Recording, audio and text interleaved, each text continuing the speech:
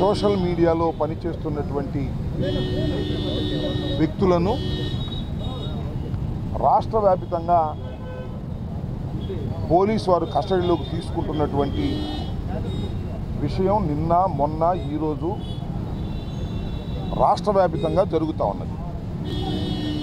ఈరోజు Nagarampalem police station గుంటూరులో మేకా వెంకటరామిరెడ్డి అనే మా పార్టీ కార్యకర్త సోషల్ మీడియాలో ఒక పోస్ట్ని వ్యంగ్యంగా పెట్టాడనే ఉద్దేశంతో వారిని నిన్న సాయంత్రం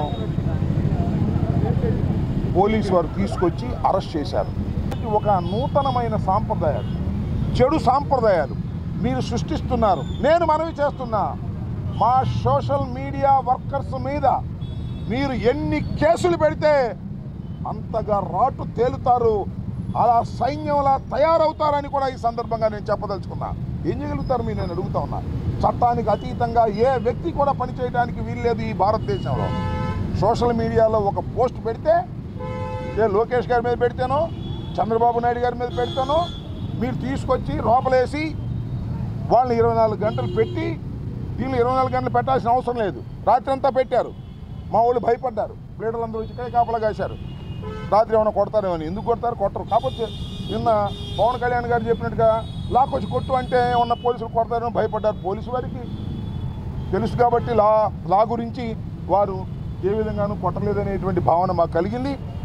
కాబట్టి వెళ్ళి వారిని పరామర్శించి మా లీగల్ టీం అంతా కూడా మా మంగళగిరికి సంబంధించినటువంటి ఈయన కూడా మంగళగిరి ప్రాంతానికి చెందినటువంటి వ్యక్తి కాబట్టి వాళ్ళ వారి బంధువులు పార్టీ కార్యకర్తలు వచ్చారు. నేను ఇక్కడ నుంచి ఈ స్థలం నుంచి నేను నేను మాట్లాడుతున్నా.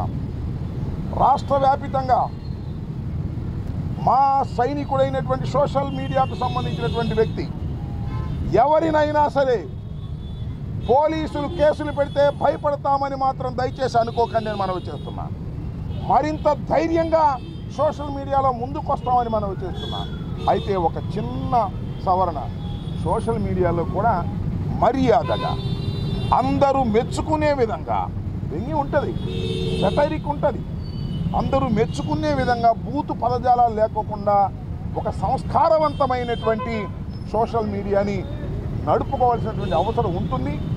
మీ ద్వారా మాకు అశేషంగా ఉన్నటువంటి సోషల్ మీడియా కార్యకర్తలను కూడా నేను వారందరికీ మనవి చేస్తున్న ఒక సంస్కారవంతమైన ఆలోచన రేకెత్తించే విధంగా ఈ ప్రభుత్వం చేస్తున్నటువంటి అనేకమైనటువంటి ప్రభుత్వ వ్యతిరేక కార్యక్రమాలని దుయ్యబట్టే విధంగా ఇవాళ సూపర్ సిక్స్ అన్నారు. అయా సూపర్ సిక్స్లో ఒక రౌండ్ కూడా కొట్టలేదు.